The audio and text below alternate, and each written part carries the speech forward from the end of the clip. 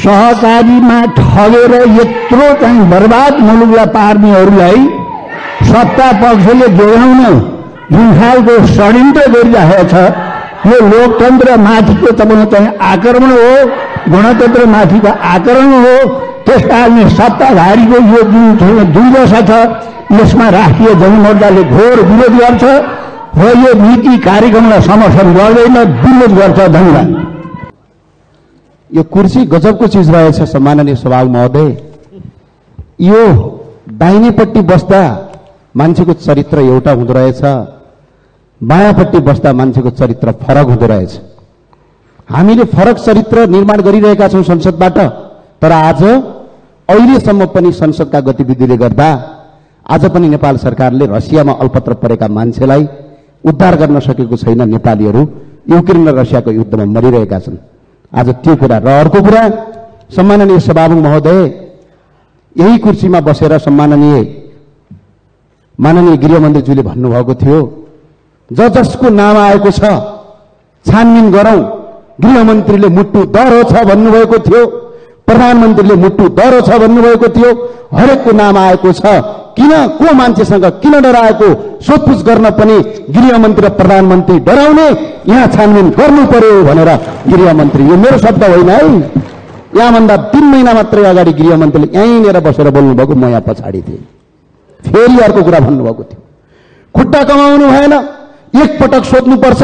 सोध्नै नहुने उहाँहरू को उहाँहरूको नाम देशभरि आएको छ ठाउँ ठाउँमा आएको छ उहाँलाई छानबिन किन नगर्ने भनेर गृहमन्त्रीले भन्नुभएको थियो।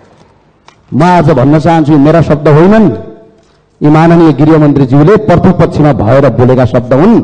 त्यो भएको हुनाले अहिले पनि भन्छु सम्माननीय सभामुख महोदय सहकारी पीडितहरू आज सडकमा बास भएको छ। मकै पोलेको पैसा हो सागको मुठा बोकेको पैसा हो कुनै अरबपति र खरबपतिको होइन नेपाली जनतालाई मार्न पाउने अधिकारको सोहीको पनि छैन सम्माननीय सभामुख महोदय। म आज क्वेसन गर्न चाहन्छु सरकार पक्षलाई।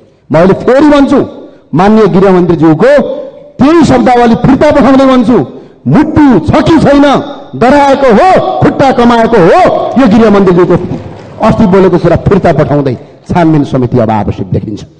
सम्माननीय सभामुख महोदय यो संसदमा दुईटा कानुन छ कि एउटा कानुन छ? यदि कानुन दुईटा छ भने छिपछिपे सहकारीमा खाता खोले कि? उहाँका ज्वाइँले लगेर गीता बस्नेतको कुरा गर्दैछु म यहाँ। छिपछिपे सहकारीमा उहाँको ज्वाइँले खाता खोल्नुहुन्छ। ज्वाइँले त्यो पैसा लगेर बर्दियाको कृष्णसार रेस्टुरेन्टमा लगानी गर्नुहुन्छ। गीता बस न सहकारीको सदस्य छ। न त्यो कुनै पैसा लिने कुरामा तपाईँको उहाँले सिग्नेचर गर्नुभएको छ। पैसा लिनुहुन्छ कृष्णसार रेस्टुरेन्टमा लगानी हुन्छ। संसदको एउटा सदस्य गीता बस्नेलाई पक्राउ जारी हुन्छ। तर त्यस्तै गोर्खा मिडियामा पैसा आउँछ।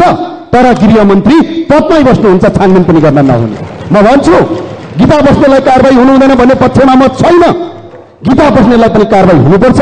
त्यस्तै प्रवृत्ति अरू गर्ने भने ती सबै सांसद हुन् चाहे यो देशको प्रधानमन्त्री हुन् सबलाई कारवाही गर्नुपर्छ। कानुन सबका लागि बराबर हुनुपर्छ। यो कुरा आज प्रक्रियाको विषयमा भएको छ। सम्माननीय सभा महोदय आज देश धरातल अवस्थामा छ। आज जनताले एक एक रुपियाँ पाइ पाइ गरेर पैसा आज कति दिन सके सरकारमा आज पुग्दै गर्दा प्रतिपक्षमा हिजो एउटा बोली आज सरकारमा अर्को बोली गर्ने हो भने म मान्य सदस्य गृहमन्त्रीजीलाई भन्न चाहन्छु।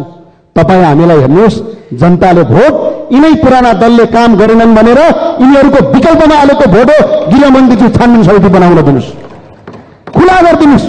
दोषी भए तपाईँ कारवाही होला निर्दोष भए तपाईँ फेरि यही संसदमा फेरि गृहमन्त्रीको रूपमा अगाडि आउनु होला। तपाईँलाई कसले रोक्न सक्छ? छानबिन समिति बनाउँदैमा छानबिन समिति गर्दैमा दोषी र निर्दोष भन्ने कुरा हुँदैन। तर आज हामी नयाँ शक्तिहरूले पनि नाच देखाउने ठाउँ रहेन। के फरक भयो? हामी एकछिन इतिहास सम्झौँ त। के थियो हाम्रो पार्टी सङ्गठन? कुन ठाउँमा हामी थियौँ? जनताले यी पुराना दलहरूले गर्न सकेनन्। विकल्पको रूपमा उहाँहरू जानुपर्छ भने आउन् तर अहिले संसद बाधक बनेको छ छानबिन समिति आवश्यक छ। गृहमन्त्रीज्यूलाई भन्छु अस्ति यहाँनिर बस्दाखेरि गरेको बोली आज त्यहाँनिर बस्दाखेरिको बोली फरक हुनु भएन छानबिन समिति बनाउनु पर्यो गृहमन्त्रीले यसको नेतृत्व गर्नु पर्यो अगाडि बढ्न पर्यो र छानबिन समिति अगाडि बढेर अहिले पनि म अनुरोध गर्न चाहन्छु सहकारीमा ठगी प्रकरणमा छानबिन समिति आवश्यक गर्नुहोस्। छानबिन समिति आवश्यक छ छानबिन समिति बनाउनु पर्छ जनतालाई न्याय दिनुपर्छ। हस् जय राष्ट्रवाद जय नेपाल। धन्यवाद सरकार सभामुखजी सभामुख महोदय प्रजातन्त्रमा आफ्नो कुरा सबैले राख्न पाउनुपर्ने हो। र संसदमा त झन् राख्नै पर्ने विषय हो। संसदमा प्रमुख प्रतिपक्षीसँग समझदारी गरेर अगाडि बढाउन पाएको भए धेरै राम्रो हुने थियो र नीति कार्यक्रममा जति छलफल हुनुपर्ने हो त्यो नहुने देखियो र औपचारिकता मात्र पुरा गर्नु देश र जनताको हितमा हुने छैन र केही बुदा हामीले नीति कार्यक्रममा समावेश गर्न संशोधन पेश गरेका छौँ। दुई नम्बर बुदामा मानिसले मानिसलाई शोषण गर्न नपाउने राजनीतिक र आर्थिक व्यवस्था बनाइनेछ थप्नको निम्ति संशोधन राखेको छु। तेह्रमा देशघाती सम्झौताहरू सुगौली सन्धि गोर्खा भर्ती सन् उन्नाइस सय पचासको सन्धि महाकाली सन्धि फुकोट कर्णाली सन्धि एमसिसी बिमस्टेक सौर्य गठबन्धन सम्झौता खारेज गरिनेछ। लेख्नुपर्छ चौ बुधा चौधमा मजदुर वर्गको सरकार गठन हुने समाजवादी व्यवस्थाको विषयलाई विद्यालय र विश्वविद्यालयको पाठ्यक्रममा राखी अध्ययन अध्यापन गराइनेछ लेख्नुपर्छ। बुधा पन्ध्र र अठाइसमा ठुल्ठुला भ्रष्टाचारी र मानव अधिकारको गम्भीर उल्लङ्घन गर्नेलाई मृत्युदण्ड दिने संविधान संशोधन गरिनेछ। बुधा सोह्रमा न्यायपालिका संवैधानिक आयोग र सेना प्रहरी समेतको नेतृत्व सम्बन्धित क्षेत्रबाट निर्वाचन गराई छनौट गरिनेछ।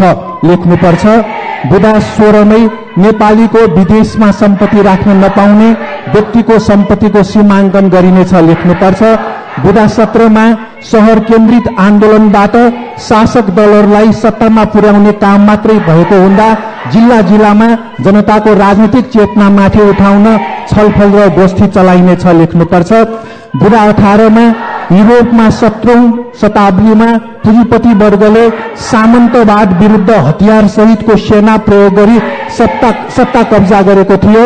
मजदुर वर्गले अब पुँजीपति वर्गकै शान्तिपूर्ण वा सशस्त्र उपायबाट सत्ता हातमा हिँड्ने बारे नयाँ पुस्तालाई अध्ययन गराइनेछ लेख्नुपर्छ। बुधा बिसमा लघु वित्त र सहकारी संस्थाको जनताको बचत ठगी गरेकालाई जेल सजाय दिनेछ मितर ब्याज लिनेलाई हडैसम्म कारवाही हुनेछ लेख्नुपर्छ। बुढा एक्काइस र बत्तीसमा सुकेको रुखमा पानी दिनु र अर्थतन्त्रको चालक सिटमा निजी क्षेत्रलाई राख्नु एउटै हुने भएको विषयमा जनतालाई सचेत गराइनेछ लेख्नुपर्छ। बुधा बाइसमा राजस्वको साठी प्रतिशत विकास निर्माण र चालिस प्रतिशत कर्मचारी प्रशासनमा खर्च गरिनेछ। आगामी पाँच वर्षसम्म महँगी बढ्न दिइने छैन। लेख्नुपर्छ बुढा छब्बिसमा आगामी आर्थिक वर्षभित्र गरिबी उन्मूलन गरिनेछ र गरिबी उन्मूलनको निम्ति चिनको नमुनालाई एउटा मोडेलको रूपमा लिन सकिनेछ भनेर लिनु लेख्नु पर्छ। बुधा सत्ताइस पचपन्न छप्पन्नमा देशको एक सय पैँसठीवटा निर्वाचन क्षेत्रमा राजधानी काठमाडौँकै सेवा सुविधा उपलब्ध सहर विकास गरिनेछ। सङ्घीय राजधानीलाई पश्चिम नेपालको डाङ उपत्यकामा सारिनेछ लेख्नुपर्छ बुढा उनातिस र तिसमा विकास निर्माणको काम जनताको उपभोक्ता समिति वा आम अमानतबाट गरिनेछ लेख्नुपर्छ बुढा अडतिसमा दाल चामल तरकारी गेडागोडी अन्न स्वदेशमै उत्पादन गरी कृषिलाई आत्मनिर्भर बनाइछ बनाइनेछ लेख्नुपर्छ। बुढा त्रिचालिसमा साठी वर्ष नागेका किसान र मजदुरलाई कर्मचारी सरह निवृत्ति भरणको व्यवस्था गरिनेछ। लेख्नु जरुरी छ। बुढा सन्ताउन्नमा व्यक्तिको नाममा दर्ता गरिएका सरकारी जग्गा कमल पोखरी नदी किनारा प्रति जग्गा पुनः सरकारी स्वामित्वमा ल्याइनेछ लेख्नुपर्छ। बुढा साथीमा हरियो वन तस्करको धन बनाउनेहरूलाई सजाय दिइनेछ लेख्नुपर्छ। बुढा एक साथीमा चुरोको जुटी ढुङ्गा बालुवा र जङ्गलको दोहनमा रोक लगाई तराई मरुवीकरण हुन दिइने छैन लेख्नुपर्छ। बुढा पैँसठी र सत्तरीमा भक्तपुर काठमाडौँ र ललितपुरका औद्योगिक क्षेत्रहरूलाई आगामी आबोभित्र स्थानान्तरण गरिनेछ लेख्नुपर्छ।